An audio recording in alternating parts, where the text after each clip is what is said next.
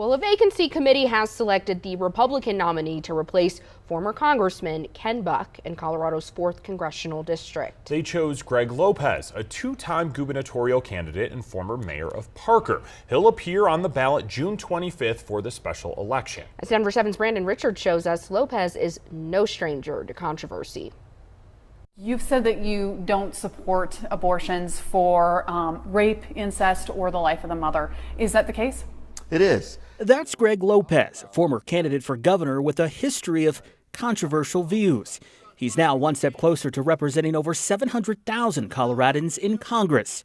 Thursday night, a vacancy committee selected Lopez as the Republican Party's nominee for June's special election to fill the remaining term of former Congressman Ken Buck. When it comes to rape and incest, look, those are traumatic things. I'm not saying that, you know, we can't be compassionate when those types of things happen. When Lopez ran for governor, his views on issues like abortion were front and center on the campaign trail, along with troubles in his personal life, including a domestic violence incident in 1993. We all have something in our lives that we made mistakes. You know, I was young. When we make mistakes, we learn from them. In 2020, the Justice Department sued Lopez, accusing him of violating federal law by improperly influencing former colleagues at the Small Business Administration where he worked. Lopez later settled the case. The 4th Congressional District is heavily Republican, so whoever the party nominates is the heavy favorite going into June's special election.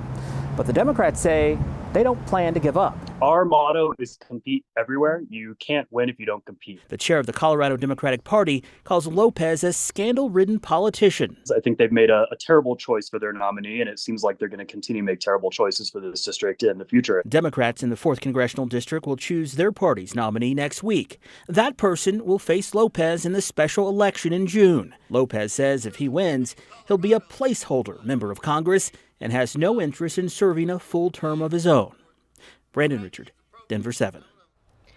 Lopez agreed to an interview with Denver 7 today, but his team canceled a short time later, saying he was too busy. The special election will be held the same day as the primary election for the same seat. The winners of the primaries will advance to November's general election.